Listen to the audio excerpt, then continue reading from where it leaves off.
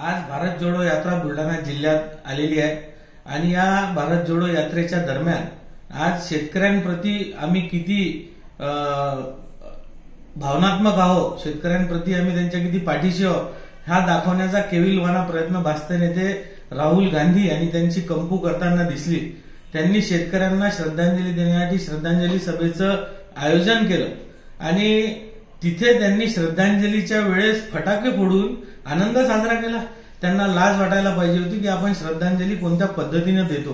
ही पद्धत इटलीमध्ये आहे का की कोणी आत्महत्या जर केली तर त्याच्यासाठी फटाके फोडायला पाहिजे. आणि वरून फटाके फुटल्यावर हर्षवर्धन सपकाळ मोठ्या मोठ्याने बडबड करतात की हे कोणी केले खंजीर खुपसणारे असे तसे. अरे तुम्हाला लाज वाटायला पाहिजे. आज त्या रस्त्यावर फक्त आणि फक्त काँग्रेसचे लोक आहेत. आणि श्रद्धांजली तुम्ही शेतकऱ्यांप्रती श्रद्धांजली देता. आणि त्याच्यात फटाके फोडता आणि तुमच्याच मंचावर अवैध सावकारी करणारा शेतकऱ्यांना लुटणारा माणूस उभा करता अशा सावकारांना घेऊन तुम्ही जर श्रद्धांजली देसाल आणि असे फटाके फोडसान जनता तुम्हाला घरी बसवल्याशिवाय सोडणार नाही थोडी लाज वाटू द्या.